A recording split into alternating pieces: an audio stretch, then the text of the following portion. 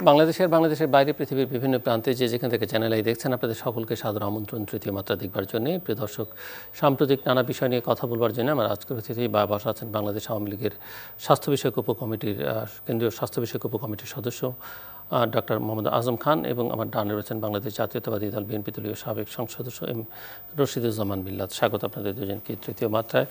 ধীরে ধীরে বাংলাদেশ জাতীয় সংসদ নির্বাচনের দিকে এগুচ্ছে। যদিও আগামী বছর বা তার পরের বছরের শুরুর দিকে, কিন্তু এখনই নির্বাচন নিয়ে নানা রকমের আলোচনা, তর্ক বিতর্ক শুরু হয়েছে সো বা কেমন নির্বাচন হতে পারে বলে মনে হয়? এবং এই নির্বাচনকে সামনে রেখে নির্বাচনের পরে কিংবা আগে জাতীয় সরকারের দাবি আছে, নির্বাচনকালীন সরকারের দাবি আছে তত্ত্বাবধায়ক সরকারের দাবি আছে। ধন্যবাদ জিলু ভাই। আমি এই মাহে রমজানে আমরা সিয়াম সাধনার পরে সামনে যে ঈদ আসতেছে আমি সেই ঈদে সবাইকে, আমাদের সবার যে সুখ দুঃখ, সুখগুলো আছে, সেগুলো আমরা আশেপাশে সবার সাথে ভাগাভাগি করে নেই। এই কামনা করে অগ্রিম ঈদের শুভেচ্ছা জানিয়ে, ঈদ মোবারক জানিয়ে শুরু করছি। সামনে নির্বাচন, এটা একটা গণতান্ত্রিক ধারা যে সময় পাঁচ বছর পর পর নির্বাচন আসবে। তো নির্বাচন মানে আপনি যেটা বলেছেন নির্বাচন অ্যাকচুয়ালি বাংলাদেশ আওয়ামী লীগ সবসময় চায় যে একটা সুষ্ঠু, নিরপেক্ষ এবং অংশগ্রহণমূলক একটা নির্বাচন হোক যার মাধ্যমে দেশের গণতন্ত্র, দেশের উন্নয়ন, দেশের মানুষের সমস্ত সামাজিক অবস্থান যাতে চেঞ্জ হতে পারে। তো এখন আমাদের নির্বাচনে কিছু সমস্যাও দেখা দিয়েছে। সমস্যা দেখা দিয়েছে যে বিএনপি সহ আমাদের একটা যারা অতীতে ক্ষমতায় ছিল। তারা কখনো নির্বাচনে আসছেন, কখনো আবার আসছেন না, আবার আসবেন বা আসবেনই না, এ ধরনের কথাবার্তা বলছেন। কিন্তু এই সরকার পরিবর্তন করতে হলে নির্বাচনের মাধ্যমে করতে হবে, জনগণের ভোট নিয়েই করতে হবে।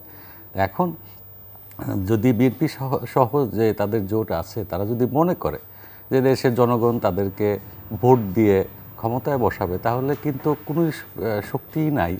জনগণ চেলে তাদেরকে, এবারে যদি জনগণ তাদের সাথে থাকে, তাহলে কিন্তু তারা ক্ষমতায় আসতে পারবে। এখন বরাবরই দেখা যাচ্ছে তারা বলে যে, নির্বাচনে আসলেও নির্বাচনের সেই বিভিন্ন রকমের তারা নমিনেশন বাণিজ্য থেকে শুরু করে তারপরে যাদেরকে নমিনেশন দিলে একটা কম্পিটিটিভ নির্বাচন হবে, তাদেরকে নমিনেশন দেয় না। একজনের জায়গায় তিনজন, চারজন করে আগে নমিনেশন দিয়ে তারপরে সেই বেশি পরিমাণে টাকা পরে দিতে পারে, তাদেরকে নমিনেশন দেয়। এই সব করে অ্যাকচুয়ালি মাঠে গতই নির্বাচনে যেটা হয়েছে, তারা যখন লাস্টলি যখন মাঠে ছিল না হ্যাঁ হয়তো মিলাদ ভাই কমপ্লেন করবে যে আমাদের মাঠে থাকতে দেওয়া হয় নির- মানে রাজনীতি করতে গেলে পক্ষ প্রতিপক্ষ কিন্তু চেষ্টা করবে যে আমি নির্বাচনী মানে আবহাওয়াকে এমনভাবে তৈরি করব যেন আমি জিতে আসি।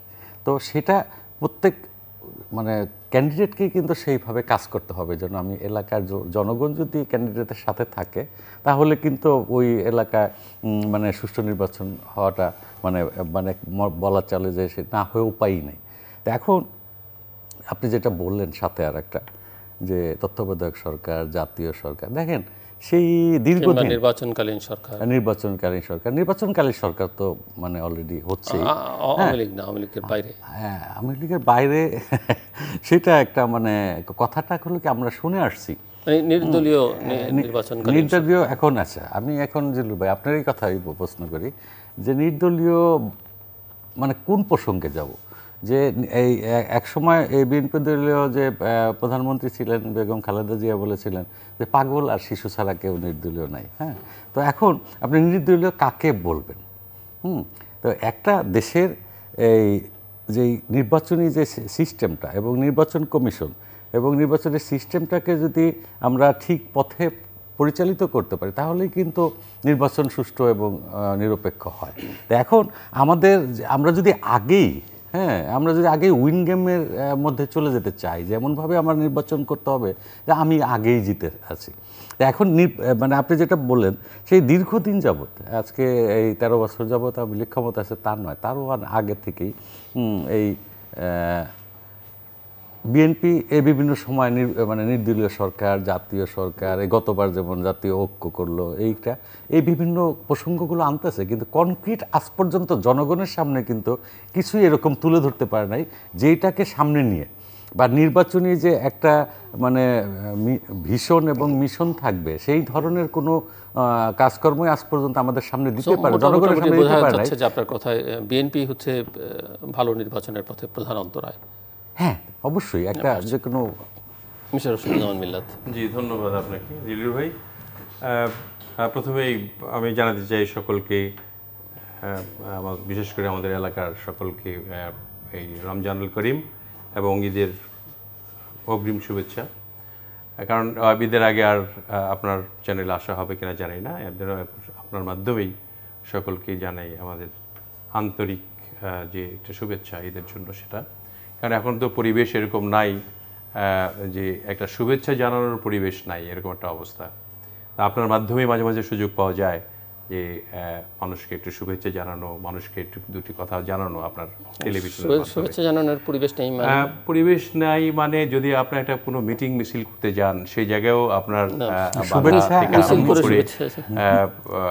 যে একটা নেতা মিছিল করে শুভেচ্ছা জানাতে হবে। একটা- একটা একটা একটা নেতা যদি আহ, এলাকায় যায় সেখানেও ব্যারিকেড সৃষ্টি করা হয়। এগুলো আপনি জানেন। আমি এই কথাগুলি বলতে আনতে চাই না আজকে বিকজ আমরা এখন সবাই জানি আর কি যে যিনি বললেন আজম ভাই, তত্ত্বাবধায়ক সরকারের ব্যাপারে আমাদেরই প্রা- প্রাক্তন প্রধানমন্ত্রী, তিনি বলেছেন পাগল শিশু ছাড়া। আবার তত্ত্বাবধায়ক সরকার তাদেরই ইস্যু ছিল, তারাই তৈরি করেছিলেন। তো সেগুলি, এগুলি নিয়ে তো অনেক আলোচনা হয়েছে। আমরা এই আলোচনা না গিয়ে আমার মনে হয় যে সাম্প্রতিক বিষয় নিয়ে কিছু আলোচনা করা দরকার। যে আগামী নির্বাচনটা কীভাবে হবে? গত নির্বাচনের মতো হবে না আগা আহ, একটা সুষ্ঠু সুন্দর নির্বাচন হবে? এবং ওনারা কি চান? সরকার কি সুষ্ঠু একটা নির্বাচন করতে চান? না গতবারের মতো নির্বাচন করতে চান? বা গতবারের চেয়ে অন্য আঙ্গিকে আরেকটি ভঙ্গিতে নির্বাচন করে ক্ষমতায় থাকতে চান? সেগুলি হয়তো ওনারা চিন্তা করছেন। আমরা মনে করি যে এই সরকারের আমলে যে কয়টি ইলেকশন হলো একটি ইলেকশনও ফেয়ার হয়নি। মানুষ ইলেকশনে যেতে পারেনি। চোদ্দ সনের ইলেকশনের আপনারা জানেন যে ফাইভ পার্সেন্ট ভোটও হয় নাই এবং লোকই লোকজনই ছিল না, ভোট দিতে পারে নাই। একটা আক্ষেপ নিয়ে মানুষ আছে একটা ভোট দেওয়ার জন্য। আশা করেছিলাম আঠারো সনে হয়তো ইলেকশনটায় সবাই পার্টিসিপেটরি ইলেকশন হবে এবং সেখানে সবাই পার্টিসিপেট করবে। সেগুলি তো দেখা গেল মানে দিনের ভোট রাতেই মেরে ইলেকশন হয়ে গেল। এখন এবার এরকম করে দেশের ভাবমূর্তি কোথায় আছে? সেটা নিশ্চয়ই আমরা সবাই যারা কিছুটা শিক্ষিত, আমরা জানি আমাদের গ্লোবাল যে ইমেজ কত ক্ষুণ্ণ হয়েছে সেটা তো আমরা নিশ্চয়ই জানি আর কি। উনিও জানেন, সেই ক্ষুণ্ণ থাকবে নাকি সেটাকে পুনরুদ্ধার করা হবে? এই বিষয়ে আসলে আলোচনা করা উচিত। এবং পুনরুদ্ধার যদি করতে চায়, তাহলে সরকারকেই এগিয়ে আসতে হবে যে, ঠিক আছে, আমরা যা হবার হয়েছে, এবার আমরা ডেমোক্রেটিক ওয়েতে বাংলাদেশ যে একটা ডেমোক্রেটিক কান্ট্রি? এবং এই, এখানে ডেমোক্রেসি রয়েছে। আমরা মানুষকে ভোট দিতে দেওয়াতে চাই। এবং আবার সেই পূর্বের সেই আমাদের আপনি যে একানব্বই থেকে আরম্ভ করে ছিয়ানব্বই, দুই হাজার এক এগুলির যেভাবে নির্বাচন হয়েছে, এইভাবে নির্বাচন করতে চাই। মানুষের স্বতঃস্ফূর্ততা নিয়ে, মানুষের ম্যান্ডেট নিয়ে আমরা পার্লামেন্টে যেতে চাই। এরকম একটা ইচ্ছা তাদেরকে পোষণ করতে হবে আগে। আর সেটা যদি না করে, তাহলে আমি জানি না যে ইলেকশনের স্পৃহা তো অনেকের জনগণের মধ্যে থেকে হারিয়ে গিয়েছে এবং সেটা বুমেরাঙ্গও হতে পারে। এক সময় হয়তো এটা ফ্লারিশ হতে পারে এমনভাবে যে মানুষ দেওয়ালে পিঠ থেকে গেছে, আমরা ভোট দিতে পারছি না, যেমনি হচ্ছে এমনি আপনারা এমপি হচ্ছেন, মন্ত্রী হচ্ছেন, আমরা বেরিয়ে গেলাম। এরকম যদি কিছু একটা হয় ব্লাস্ট হয়, তাহলে দেশের জন্য অমঙ্গল হবে। তো আমি মনে করি যে মাননীয় প্রধানমন্ত্রী অত্যন্ত সূক্ষ্ম চিন্তা করেই তিনি আগান। এবারের ইলেকশনটা হয়তো তিনি যদি মনে করেন গণতন্ত্র ফিরিয়ে আনা দরকার, তাহলে যা হবার হয়ে গেছে, পনেরো বছর তো হয়ে গেল। এখন তিন টার্ম এইভাবে থেকে এই গণতান্ত্রিক ধারাকে অব্যাহত রাখার জন্য পুনরায় একটা চেষ্টা ওনার করা দরকার। আমি মনে করি যে অংশগ্রহণমূলক একটা নির্বাচন হতে গেলে? তত্ত্বাবধায়ক সরকার প্রথাটা ফিরিয়ে আনা দরকার এবং সেটা আলোচনার মাধ্যমেই। তিনি কিন্তু আবারও আলোচনা করতে পারেন। চোদ্দ সনে যেমন আলোচনা করেছেন আমরা হয়তো সেখানে আমাদের ভুল ধরা হচ্ছে যে আমরা গিয়ে যাইনি সেখানে টেলিফোনিক আলোচনায় সেটা আমরা সবাই জানি।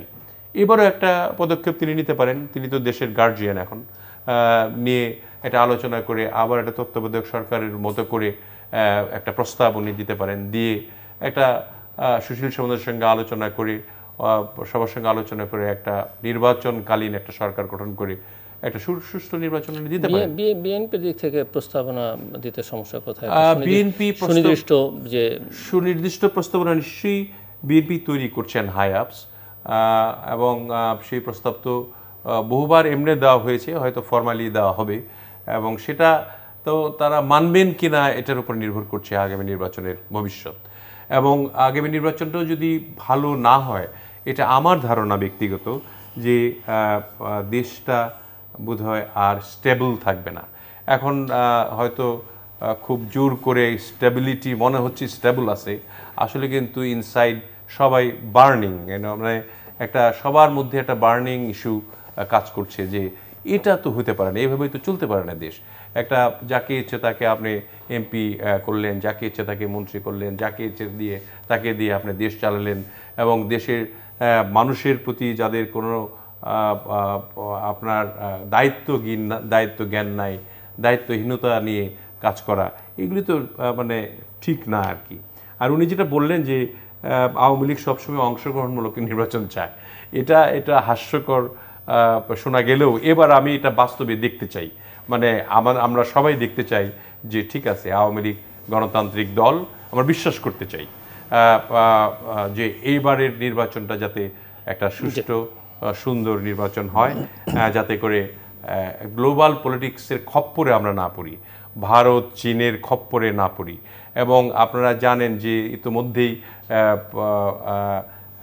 দুই দলেরই ধর গ্লোবাল পলিটিক্সে কিন্তু দলকে নিয়েই কথাবার্তা হচ্ছে। এবং আমেরিকা, ইন্ডিয়া একটি লবি যারা এশিয়া কন্ট্রোল করে। আবার চায়নার সঙ্গে আমাদের যে অবস্থানটা যে অবস্থায় আছি আমরা, যদি ইন্ডিয়ার সঙ্গে একটা বৈরিতা হয়, তাহলে আমাদের কি অবস্থা হবে? চায়নার সঙ্গে বৈরিতা হলে আমাদের সকল যে লোন উইথড্রয়াল কিছু ব্যবস্থা নেয় তাহলে শ্রীলঙ্কার মতো অবস্থা হবে কিনা? এইগুলি বিষয় নিয়ে বেশি চিন্তা করা উচিত। কারণ এখানে তো ভোট হচ্ছে না বা ভোটও আর ভোটের মাধ্যমে সরকারও গঠন হচ্ছে না। অন্তপক্ষে এই ইস্যুগুলি নিয়ে চিন্তা ভাবনা করে দেশের ভবিষ্যৎটা নিয়ে চিন্তা করে কিন্তু আগামী দিনে এগোনো উচিত। আমাদের মনে হয় সকলকে এখন এক হওয়ার সময় হয়েছে এবং সকলে মিলে একসঙ্গে একটা সমঝোতার মাধ্যমে সুস্থ একটি নির্বাচন করে যেই সরকারে থাকুক না কেন একে অপরকে সহযোগিতা করা ডক্টর আজম খান। উম, আহ, ধন্যবাদ। মিলাদ ভাই কিন্তু প্রথমেই একটু আহ, একটা শুভেচ্ছা দিতে যে মিছিল মিটিংয়ের কথা এসেছে এটা আসলে মানে বিএনপির যে রক্তের মধ্যে যেটা আছে না, সেটা হ্যাঁ, সবাই আছে, হ্যাঁ, আপনারও আছে, আছে, আমাদেরও আছে, সেটা আছে তার মধ্যে। শুভেচ্ছা আর মিছিল মিটিং দেয়ার ডিফারেন্স শুভেচ্ছা জানাতে পারেন। আমি যদিও তখন করেছি। এলাকায় এ, না, হ্যাঁ। মনে করেন হাজার হাজার লোক পিছনে নিয়ে উনি সবাইকে হ্যাঁ, হ্যাঁ, দিতে পারেন না, সেখানে তো আপনি বাধা দিচ্ছেন। হ্যাঁ, না না না না সেটা সেটা ঠিক না। হ্যাঁ সেটা আমরা বাধা দিচ্ছি না। শুভেচ্ছা জানানো যায়। আচ্ছা আর যেটা মিলাদ ভাই কিছু প্রসঙ্গ আছে আমি খুব সংক্ষেপে যেগুলো এগুলো অনেকে আগেই আলোচনা হয়ে গেছে। যে তত্ত্বাবধায়ক সরকার আওয়ামী লীগ এনেছে। হ্যাঁ আওয়ামী লীগই তত্ত্বাবধায়ক সরকার এনেছিল। আপনি যেটা বললেন যে এই আওয়ামী লীগ মানে তত্ত্বাবধায়ক সরকার এনেছিল যে একটা এই সুষ্ঠু এবং গ্রহণযোগ্য নির্বাচনের জন্যই। হ্যাঁ শুধু কিন্তু তত্ত্বাবধায়কের দাবি করে না। আওয়ামী লীগ আজকে যে আমরা ভোটার আইডি কার্ডটা যেটা ব্যবহার করছি এবং সমস্ত জায়গায় যেটা লাগছে, সেটাও কিন্তু ওইটার সাথে দাবি ছিল। যে একটা একটা মানে সঠিক একটা ভোটার তালিকা করতে হবে এবং সবাইকে মানে ভোটার আইডি দিতে হবে। তো সেটা কীভাবে মানে নষ্ট হলো সেটা আপনি, এই প্রথমে আসি, আপনি দুই, চোদ্দ সালের নির্বাচনের কথা বলেছেন যে বেশি ভোট কাস্ট হয় না। তো এখন চোদ্দ সালের নির্বাচনে আপনারা ডিক্লারেশন দিলেন যে আমরা ভোট হতে দেব না এবং ভোট প্রতিহত করব। এবং তার বিনিময়ে আপনারা জ্বালাও পোড়াও শুরু করলেন এবং অনেক পাঁচশোর উপরে স্কুল জ্বালিয়ে দিলেন। প্রিজাইডিং কর্মকর্তাকে মেরে ফেলেন, আগুন দিয়ে। তারপরে আরও শিশু সহকারে হ্যাঁ অনেক অনেক লোককে হত্যা করা হয়, ঠিক আছে। সেগুলো কিন্তু সেই সেটা চোদ্দ সালের সেই নির্বাচনে ভোটের মানে সংখ্যা মানে ভোটার কম হলো চুয়ান্নটাতে মানে বিনা প্রতিদিন নির্বাচিত হয়ে গেল। তো ফলে সেই ভোটের রাশিওটা যদি আবার একটা চুয়ান্নটা যদি হান্ড্রেড পার্সেন্ট ভোট কাউন্ট করা হয় তাহলে কিন্তু ভোটের রাশিও অনেক হয় আমরা সেটাতে যাচ্ছি না। এখন আপনি বললেন যে গ্লোবাল ইমেজ হ্যাঁ আমাদের মাননীয় প্রধানমন্ত্রী জননেত্রী শেখ হাসিনা এমন স্মার্টলি আমাদের এই দেশের সমস্ত কর্মকাণ্ডগুলো পরিচালনা করছে, যে গ্লোবাল গ্লোবাল ইমেজে হ্যাঁ আমাদের খুব বেশি সমস্যা হওয়ার, এমন কোনো কারণ নেই। হ্যাঁ টুকটাক কিছু হচ্ছে। সেটা কিন্তু আপনি যেটা বললেন যে এই- যে মানে ভারত, চীন, আমেরিকা হ্যাঁ এদের যে রাজনীতিক যে কিছু ব্যাপার স্যাপারগুলো আছে তারা কিন্তু বিভিন্নভাবে আমাদের এই মানে উন্নয়নশীল দেশগুলোর উপর বিভিন্ন ধরনের চাপিয়ে দিতে চায় বিভিন্ন রকমের এখন তো প্রশ্ন উঠছে যেটি মিস্টার রশিদুজ্জামান মিল্লাত উল্লেখ করলেন যে বাংলাদেশ কি শ্রীলঙ্কা হয়ে যাবে কিনা না, না, সেটা- সেটা- বাংলাদেশের উপর দিয়ে পাকিস্তানের মতো ঝড় একটা বয়ে যাবে কিনা? না না সেটা সেটা সেটা ওই এটা কিন্তু এই সন্দেহটা অনেক বছর বছর যাবৎ করে আসছে। আমাদের যে আর্থসামাজিক এবং বিভিন্ন সূচকের যে অবস্থানগুলো আছে তাতে বাংলাদেশের যেই মানে আমি তাহলে এই প্রসঙ্গে আমি মিলাদ এই প্রসঙ্গটা তাহলে একটু ক্লিয়ার করার চেষ্টা করি। সেটা হলো আপনি হিসাব করেন যে এই বাংলাদেশের যে ফরেন ছিল অবস্থায়। হ্যাঁ অবস্থা ভালো ছিল কিন্তু পলিসি মেকিংয়ের ক্ষেত্রে। আপনি পলিসি মেকিংয়ের এর ক্ষেত্রে মানে পলিসি মেকিংয়ের উপরে ডিপেন্ড করে ওই দেশের আর্থসামাজিক অবস্থা কি হবে। তা মাননীয় প্রধানমন্ত্রী যেই যেই ওয়েতে পলিসি মেকিংগুলো করছেন সেই ওয়েতে পলিসি মেকিংয়ে আমি একটা, যদিও এটা জনগণের জন্য একটু বোঝা হয়ে গেছে, যেমন মাঝখানে আপনার এই তেলের দাম বাড়ালো হ্যাঁ? তো এখন এটাকে এই মানে মানুষের আর্থসামাজিক অবস্থা পার ক্যাপিটা ইনকাম এগুলোর উপর ডিপেন্ড করেই কিন্তু কিছু কিছু জিনিস দাম বাড়ায়, বাড়া- বাড়ানো হয়েছে। কারণ সেটাকে ব্যালেন্স করতে হবে সেই অর্থনীতিটাকে। কিন্তু পক্ষান্তরে শ্রীলঙ্কা একটা ব্লান্ডার করেছে, সে মানে ভালো মানুষই দেখাতে যে ট্যাক্স কমিয়ে দিয়েছে। এবং এমন এমন প্রজেক্ট নিয়েছে যে সেগুলোর থেকে কোনো রিটার্ন আসার মানে সহসা কোনো সুযোগ নেই। কিন্তু আমার বাংলাদেশে যে মানে প্রজেক্টগুলো নেওয়া হয়ে, হচ্ছে। আপনি দেখেন এই যে, এই পায়রা, যে আপনার কয়লা বিদ্যুৎ কেন্দ্র মানে এখান থেকে অলরেডি উৎপন্ন শুরু হয়েছে। আপনার পদ্মা সেতুটা মানে এই অল্প টাইমের মধ্যে চালু হয়ে গেলে দেশের জিডিপিতে ওয়ান পয়েন্ট টু থেকে ওয়ান পয়েন্ট ফাইভ পর্যন্ত আপনার জিডিপি মানে অ্যাড হয়ে যাবে। তো এই যে এই প্রজেক্টগুলো, যেগুলো নাকি আপনার মানে এই, যেই প্রজেক্টগুলো থেকে মানে দেশের জনগণের জন্য এবং দেশের অর্থনীতির জন্য রিটার্ন আসবে, সেইভাবে প্রজেক্ট হ্যাঁ আমি হয়তো হয়তো মিলাদ ভাই বলবেন অনেক প্রজেক্ট অনেক লম্বা টাইম নেওয়া হয়েছে। অ্যাকচুয়ালি উই আমরা তো এক্সপিরিয়েন্স ছিলাম না। এখন কিন্তু এক্সপিরিয়েন্স হয়েছে আপনি দেখেন ওই পায়রা তাপবিদ্যুৎ কেন্দ্র কিন্তু ওই মানে টাইমের আগে মানে উদ্বোধন হয়ে গেছে। ঠিক সেমনি আমাদের থার্ড টার্মিনাল কিন্তু আমরা আশা করছি যে টাইমের আগেই হবে। এখন যেই প্রজেক্টগুলো হচ্ছে হ্যাঁ আপনি দেখেন ওই যে কর্ণফুলী টানেল সেটাও কিন্তু টাইমলি শেষ হয়ে যাচ্ছে। তাই এখন এখন যেই প্রজেক্টগুলো আসতেছে আমরা মেট্রো রেল এবং ওই বিআরটি প্রজেক্টটাই আমাদের অনেক ডিলে হয়ে গেছে। সেটার জন্য অনেকগুলো অনেকগুলো রিজন আছে।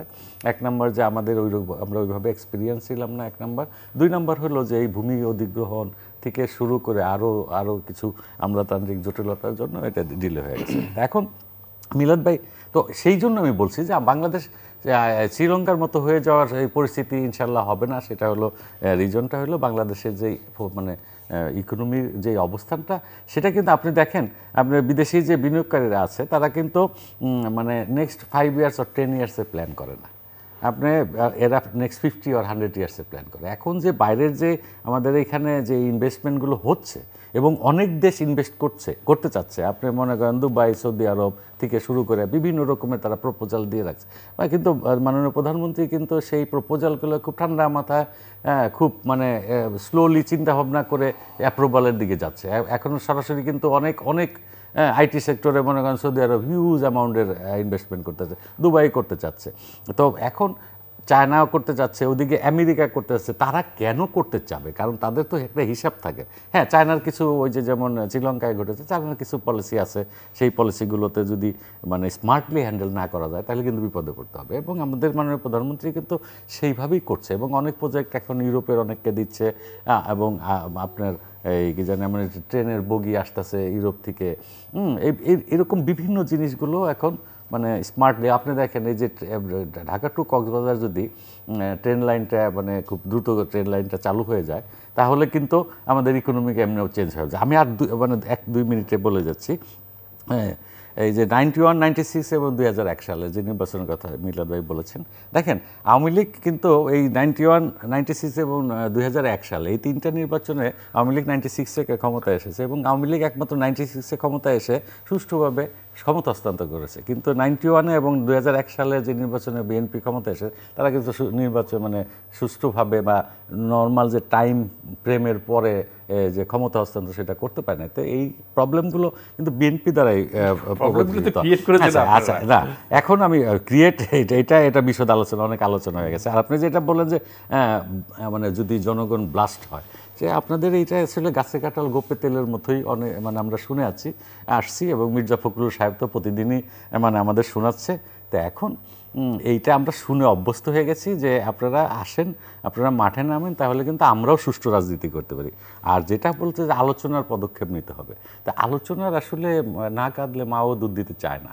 হ্যাঁ তাই চিন্তা করতে হবে যে আপনাদের সুষ্ঠু রাজনৈতিক ধারায় এসে আপনাদেরকে আরও একটা প্রস্তাব দিতে আপনারা যদি এখন বিভিন্ন রকম, আমি এই সরকার, তত্ত্বাবধায়ক সরকার, আমি জাতীয় সরকার চাই, এগুলো যদি আপনার মিছিল মানে মিটিংয়ের মধ্যে খালি বলে যান, আপনারা একটা মানে একদম কনক্রিট একটা পদক্ষেপ নেন। আপনাদের এখন পর্যন্ত গত নির্বাচনে আপনারা জিতলে কে প্রধানমন্ত্রী হবে, কে দেশের নেতৃত্ব নেবে নেবে, কে দেশকে চালাবে হ্যাঁ কীভাবে আমরা দেশটাকে চালাবো, এই ধরনের কোনো মানে এই মানুষের সামনে সেই ধরনের কোনো মানে ইয়ে এরা ইয়ে উপস্থাপনই করতে পারছে না। এখন আমি জাতীয় সরকার বলছি, তত্ত্বাবধায়ক সরকার অ্যাটলিস্ট একটা একটা প্ল্যানিং করে অন্তত জনগণের সামনে উপস্থাপন করতে হবে। জনগণ সেটা গ্রহণ করে কিনা তারপরে হলো যে এই ব্যাপার হবে। আর মানুষের প্রতি দায়িত্বহীনতার কথা বলেছেন। আমাদের মাননীয় জন জননেত্রী শেখ হাসিনা মানুষের প্রতি কি পরিমাণে দায়িত্ব নেয়? তাহলে আপনি সেটা বুঝবেন যে ভূমিহীন মানুষদের ঘর দিচ্ছে তারপরে মানুষের আজকে আর্থসামাজিক অবস্থা পরিবর্তন হয়েছে আপনার সারের জন্য এখন গুলি খেয়ে মরতে হয় না সারের ভর্তুকির জন্য আমরা বাম্পার ফলন ফলাতে পারছি। দেশকে আমরা এখন আসলে টার্ন করে ফেলেছি। এখন আমরা ঠিক উন্নয়নের মহাসড়কে উঠে গেছি আপনারা যদি সুষ্ঠু রাজনৈতিক ধারায় ফিরে আসেন তাহলে কিন্তু আমরা গণতান্ত্রিক সেই মহাসড়কে উঠে যেতে পারব ভাই। আহ, ধন্যবাদ আপনাকে এটা ঠিক আছে সব কথাই তো বললেন আহ, আপনার আহ, ধারাবাহিক প্রক্রিয়া একটা কথা আছে আর কি হ্যাঁ? প্রক্রিয়ার মধ্যে এটা যেমন আপনার উন্নয়নের কথা যেগুলি বললেন সেই উন্নয়নগুলি যেমন আপনার এই যে হাতির ঝিল, তারপরে ইতাল থায়ের ওই যে প্রজেক্টটা, তারপরে আপনার বিভিন্ন ধরনের এই যে সড়ক উন্নয়ন এইগুলির অনেকগুলি প্রজেক্ট কিন্তু আমাদের সময় নেওয়া ছিল। মানে তখন তখন এই প্রজেক্টগুলি একদম মানে ফান্ডিং সহ ছিল আর কি, যে স্পেশালি আপনারা যে কি বলে এটা, আমাদের এটা কি ওই যে হাতের জেল। হাতির ঝিল প্রজেক্টটা এটা তো আমি আমি নিজেই জানি আর কি। তো এরকম প্রজেক্টগুলি এটা এটারও ধারাবাহিক প্রক্রিয়া আর কি। একটা সরকার পনেরো বছর বিশ বছর থাকলে পরে বারো বছর থাকলে দশ বছর থাকলে এটা আস্তে আস্তে হতেই থাকবে। এবং this is a virgin country এখন দেখেন প্রত্যেক দেশই কিন্তু উন্নত হয়ে গেছে। এ আমাদের আমরা কিন্তু এই শুধুমাত্র একেবারে যে পদ্মা সেতু আর পদ্মা সেতুর এখানে মাওয়া রাস্তা করেছি এর মধ্যে ম বিরাট কিছু করে ফেলছি তা কিন্তু নয়। এটা হ্যাঁ হয়েছে, এটা হচ্ছে। এখনও হইতে অনেক কিছু বাকি আছে। আপনার, আমাদের এই দেশটাকে একটা আবার সুন্দর করতে হলে, এটার ফেসিলিটেট করতে হলে আরও অনেক কিছু করতে হবে। এবং সেটা স্লোলি হবে। এবং এখানে কিন্তু বিএনপি আওয়ামী লীগ না থাকলেও যদি কোনো অন্য সরকারও আসে, তৃতীয় সরকারও আসে ইভেন আওয়ামী লীগ, ওই যে ওয়ান ইলেভেনের সময় যদি আর্মিরা থাকতো তাহলেও কিন্তু এর চেয়ে ভালো না, না, না, না, এটা- এটা আমি মানতে পারলাম না। না আমি এটা আর্মির আর্মিরা ওই দুই বছর আর্মিরা থেকে আমাদের দেশকে আপ- বিশ আপ- বছর পিছিয়ে দিয়েছে আপনি মানেন না মানেন। that না বিশ মানে বছরকে পিছিয়ে দিয়েছে সরকার এটা পঁচিশ বছর পিছিয়ে দিয়ে গেছে আমার আবার আহ, আহ, আহ, বেগম খালেদা জিয়া নিজেই প্রথমে বলছেন আর কি হ্যাঁ। যে এই দুই বছরে আমাদের পঁচিশ বছর পিছিয়ে দিয়ে গেছেন হ্যাঁ, হ্যাঁ। তখন তো দুই নেত্রী একসঙ্গেই ছিলেন একসঙ্গে আন্দোলন করেছেন তো যাই হোক তো এটা, ওটা অন্য কথা আর কি। কিন্তু ধারাবাহিক নিয়মটা হলো যে আপনার এটা আস্তে আস্তে এগুতেই থাকবে। আমরা মানে এটা পৃথিবীর ইতিহাস। আপনি বন জঙ্গলে ছিলেন, জঙ্গল থেকে তারপরে একটু বাসাবাড়ি করেছেন বাসের ঘরে থাকতেন, তারপরে বিল্ডিংয়ে থাকেন, তারপরে পাতার থেকে আরম্ভ করে তারপরে কাপড় চোপড় পরা শুরু করেছেন, তারপরে স্যুট পরেন, তারপরে you have all the electronic thing with you এগুলা একটা ধারাবাহিক নিয়ম। এটা নিয়ে খুব বেশি কথা বলার কোনো কিছু নাই। আমার মনে হয় যে আমাদেরকে মিলাদ ভাই আমি একটু মানুষের হ্যাঁ, আমি 30 সে- মানুষের দশ মধ্যে সেকেন্ডের একটা বলছি। এই যে ধারাবাহিক যেটা বললেন সেটাই কিন্তু প্রশ্ন।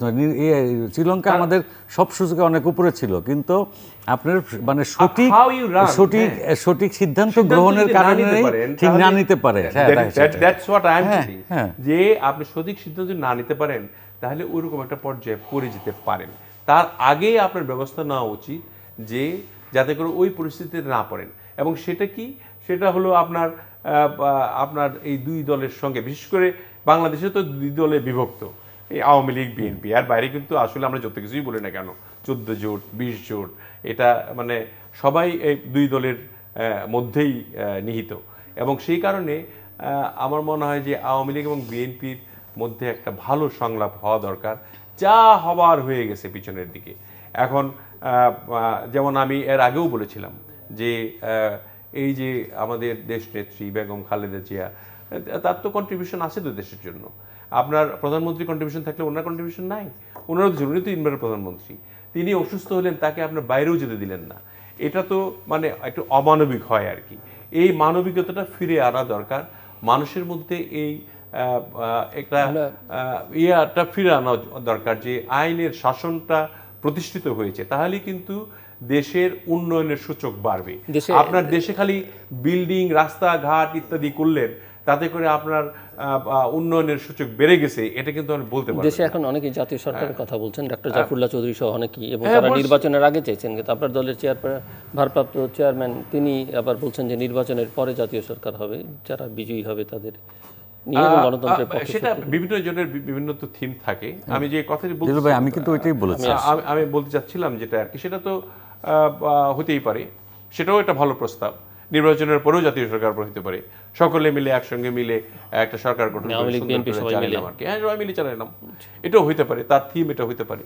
এবং সেটা হলো আর যদি একসঙ্গে আপনারা আহ, সবাই তো আমরা আসলে যারা রাজনীতি করি মোরলেস সবাই কিন্তু ওয়ে হয়তো একটু ভিন্ন হতে পারে, কিন্তু মোরলেস সবাই দেশকে একটু ভালোবাসে এবং দেশের মানুষের সঙ্গে সম্পৃক্ত থাকার চেষ্টা করে এবং তারাই তো অ্যাকচুয়ালি দেশ চালায়।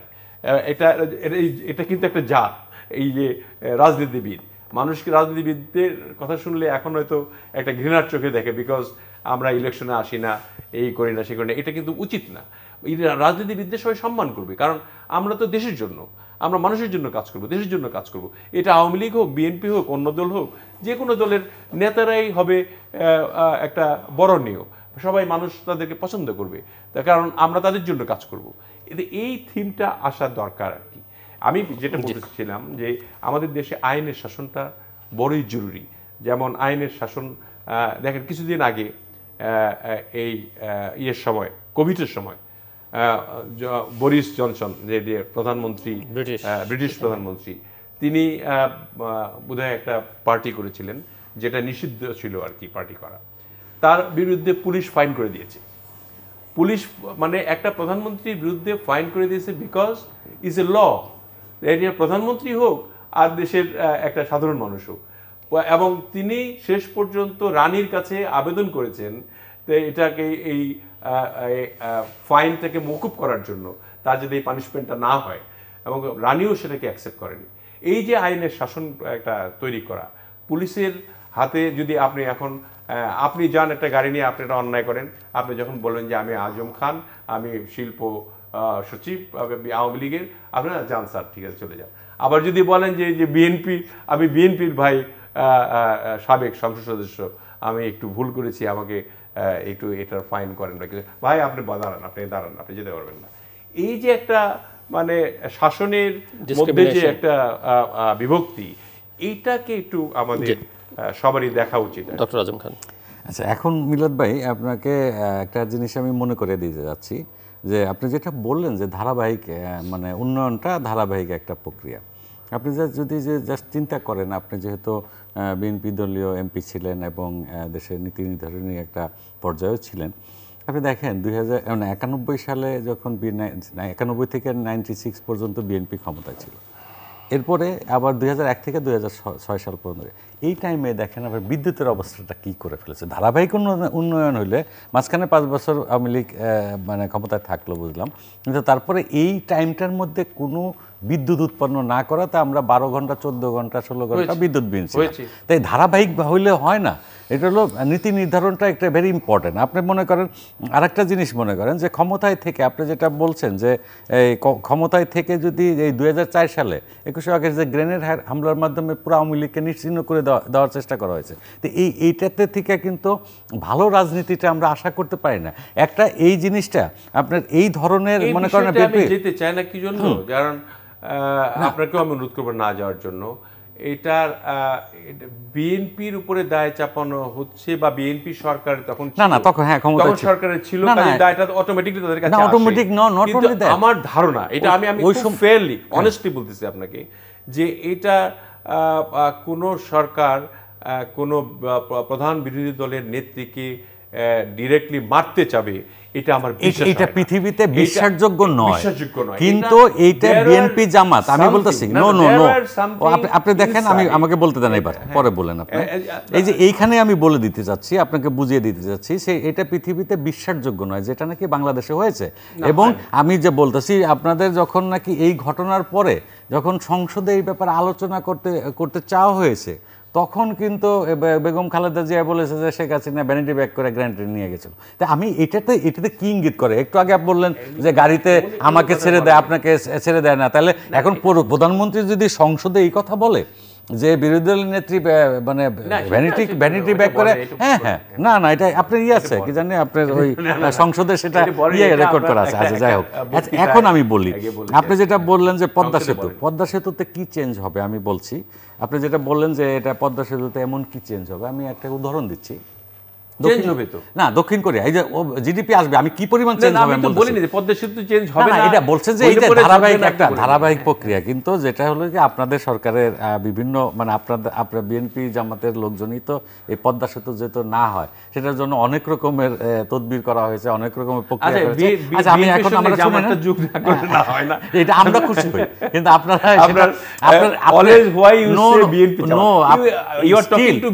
না না. না বিএনপি জামাতের জোট যে যে সরকার ছিল সেটা সম্বন্ধে আমাদের বলতেই হবে কারণ তখন জোট আপনাদের সঙ্গে হ্যাঁ, ছিল হ্যাঁ, হ্যাঁ, যুগপথ আন্দোলন করেছেন আপনারা। না, না। Awami League no no no আমরা করিনি। আরে, তারা তারা ডিক্লারেশন? দিচ্ছে ভাই কে এটা বলে নিয়ে- আন্দোলন নো? No no. জিল্লুর ভাই জানেন না আমি বলি আমি আমার আওয়ামী লীগ কর্মসূচি দিয়েছে শুনেন জোট করেনি তারা- আন্দোলন জোট করেছে? না না তারা আমাদের কি বলছি? আমরা জোট করেনি, হ্যাঁ, জোট করেনি। এই তো রাইট। সেটাই একসঙ্গে না। আমি বলছি আমি বলছি. না no no not all the same আমি সরকারের নিয়ে তাদেরকে ফ্ল্যাগ দিব মন্ত্রী বানাবো আর আমি না সেগুলো সেগুলো আওয়ামী লীগ করেনি কিন্তু আওয়ামী লীগ হ্যাঁ, যুগপথ আন্দোলন করেছে এটা ঠিক। এবং? বিএনপির বিএনপি বিএনপির বিরুদ্ধেই ক্লিয়ার করে দিই আমি একটু ক্লিয়ার করে দিই। জাতীয় পার্টি জামাত এবং বিএনপি আওয়ামী লীগ শোনেন, একসঙ্গে সংসদ থেকে পদত্যাগ করেছে। হ্যাঁ সেটা আমি বলতেছি যে আমি ইয়ে মানে আওয়ামী লীগ যে প্রোগ্রামগুলো নিয়েছে মানে বিএনপি বেশ কয়েক ধাপে এগিয়ে গেছে আপনারা। কয়েক ধাপ পিছিয়ে আছেন কিন্তু কাজটা একই রকম না না সেটা জিনিসটা হলো যে তখন ওনারা জোট করেছেন, মন্ত্রী বানিয়েছেন, MP বানিয়েছেন, কালকে হরতাল দেখেছি হ্যাঁ। আমরা হরতাল দেখেছি বা আমরা একটা সেটা একটা দেখেছি। ছিল, তখন তখন তিনটে দলের মধ্যে, জোটের মধ্যে। এটা- এটা না। আমাদের সাথে ওইটা ওই ধরনের আন্ডারস্ট্যান্ডিং ছিল না। কোনো লিখিত বা বন- অন্য কোনো ইয়ে ছিল না। তারা এটা করেছে। হয় কিন্তু এইরকম শুনেন। দোষারোপ না। এটা তো এটা মাননীয় আমি- আচ্ছা বলি আমি শেষের দিকে ছোট্ট করে এই যে শেষ আমি- আমি যেটা বলছিলাম যে এই যে কো- দক্ষিণ কোরিয়া একসময় খুব আহ, গরিব দেশ ছিল। হ্যাঁ? তারা যখন নাকি আপনার এই দক্ষিণ কোরিয়ার এই যে হাইওয়ে তৈরি করল এই দেশের এই প্রান্ত থেকে ওই প্রান্তের যোগাযোগ ব্যবস্থার জন্য তখন এই আপনার ওয়ার্ল্ড ব্যাংক আইএমএফ যেসব এখানে দক্ষিণ কোরিয়া ছিল তারা ওখান থেকে অফিস গুটিয়ে চলে গেছে যে এই দেশ দেউলিয়া হয়ে যাবে। কারণ বাজেটের ফিফটি পার্সেন্টের উপরে এই হাইওয়ে তৈরি করেছিল দক্ষিণ কোরিয়া। এবং এই হাইওয়ে তৈরি করে রেগুলেশন করে তারা কিন্তু আজকে তাদের যে স্যামসাং এবং আরও বড় বড় কোম্পানি ওয়ার্ল্ডের তারা তৈরি করেছে। এখন আমি বলি আমি মিলাদ ভাই আমি বলছি আপনি বলতে ভালো একটা সংলাপের দরকার। আপনি জিনিসগুলো চিন্তা করতে হবে যে ভালো সংলাপের জন্য ভালো মন মানসিকতা থাকতে হবে।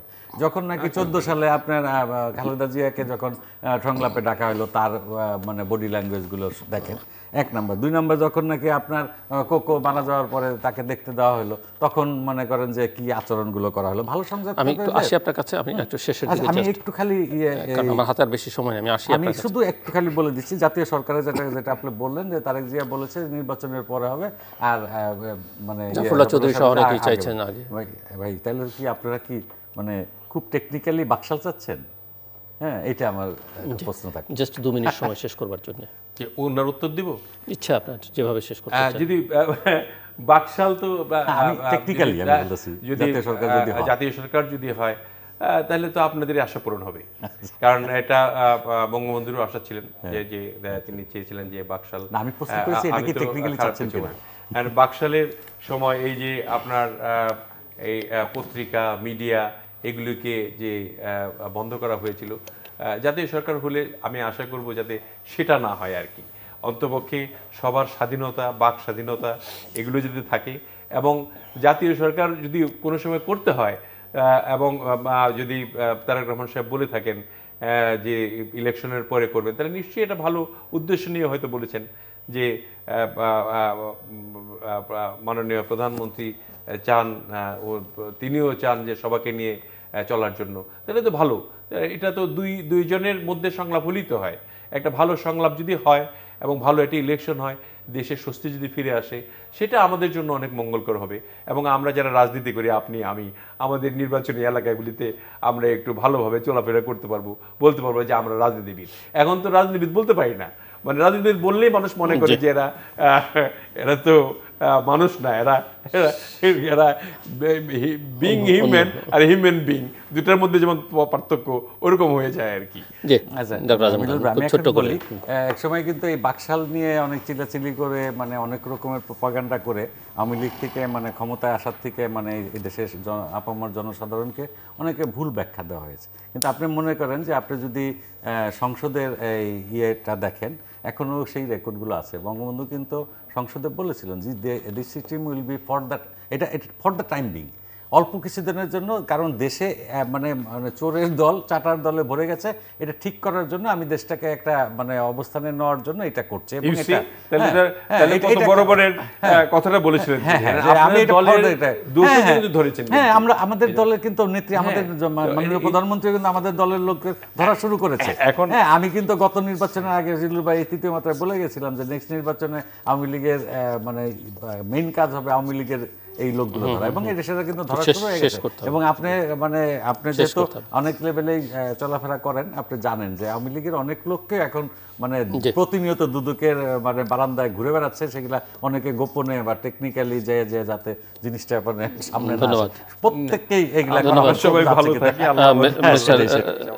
রশিদুজ্জামান মিলাত এবং ডক্টর আজম খান অসংখ্য ধন্যবাদ আমাদের সঙ্গে আলোচনা অংশ নেবার জন্য। দর্শক ওনারা ওনাদের কথা বলেছেন অভিযোগ পাল্টা অভিযোগ করেছেন। কিন্তু জনগণের চাওয়া এবং আমাদের এই দেশটি যে অঙ্গীকার নিয়ে স্বাধীন হয়েছিল সেখানটাতে ওই চাওয়া, আমাদের প্রোক্লেমেশন অফ ইন্ডিপেন্ডেন্সও এই চাওয়া বা সংবিধান যেটি বাহাত্তরে রচিত হয়েছিল সেখানেও এই কথা বলা আছে যে মানুষের অধিকার প্রতিষ্ঠা করতে হবে আইনের শাসন প্রতিষ্ঠা করতে হবে, স্বচ্ছতা, জবাবদিহিতা নিশ্চিত করতে হবে, প্রতিষ্ঠানগুলোকে শক্তিশালী করতে হবে এবং স্বাধীনভাবে কাজ করতে দিতে হবে। আমরা আশা করব যে ওনারা দুদিক থেকেই ঐকমত্যের কথা বলেছেন, আলোচনার কথা বলেছেন এই বিষয়গুলোকে নিশ্চিত করবার জন্য নিঃসন্দেহে একটি জাতীয় ঐকমত্য প্রতিষ্ঠা দরকার এবং ঐকমত্যের জন্য সংলাপ প্রয়োজন এবং সংলাপ মানেই হচ্ছে গণতন্ত্র, গণতন্ত্রের অপর নাম অন্যভাবে বললে সংলাপ। দর্শক, আমাদের সঙ্গে থাকবার জন্য অসংখ্য ধন্যবাদ। আপনাদের সবার জন্য শুভকামনা।